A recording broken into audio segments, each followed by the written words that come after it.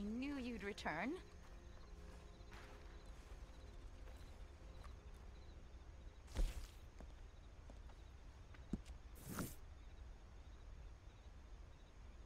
I have to tell you, if you've never tried touching fresh dung when it's still warm, the reverberations you feel, it's like a beating heart. And even more so when it's an animal I know.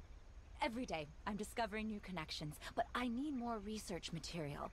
There have been reports of an unusually aggressive wolf pack up in the Grizzlies, led by a large, white moonstone. An animal I'd very much like to study. I know it's a lot to ask, but we are making discoveries that will live on forever. I truly believe that.